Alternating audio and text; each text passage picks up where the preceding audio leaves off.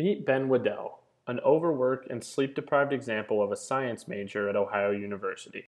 Waddell, a sophomore studying biology in the Honors Tutorial College, transitioned to biology, physics, and chemistry classes this fall after spending last year in media arts and studies classes with a much smaller time commitment.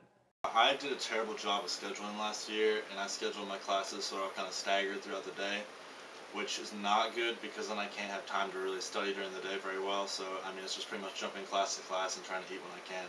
Waddell spends about 20 hours a week studying on top of the 19 hours he spends in the classroom and time he spends working at Nelson Dining Hall. Okay, so I have uh, three lab classes, and two of the lab classes have exams, so that means I have a total of five class exams and then two lab exams, so seven total exams.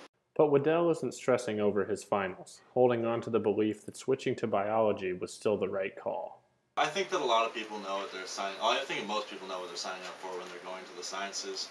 Though he's doing well in school, that stressful schedule doesn't leave time for many other interactions during the week. In steps girlfriend, Sally Sugar. I mean, we've been able to make it work. We live in the same dorm. We get to spend a lot of time together. Um, just not as much during the day, but usually for part of the evening, and then usually he will keep working into the night.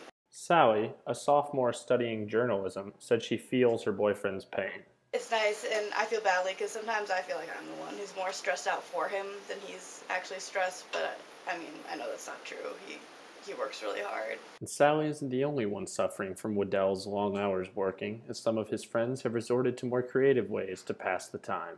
Well, I try to fill in the time by getting really high and then playing Grand Theft Auto.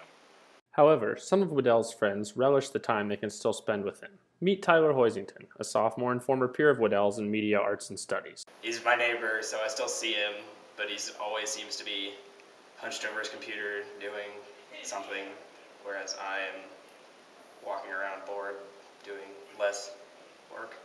And despite these hardships, Waddell can always say why it is all worth it. I'm just hoping that after four years of busting my balls, I'll have a nice marketable degree that I'll be able to enter the job market and feel really comfortable, find a good paying job, be able to support things.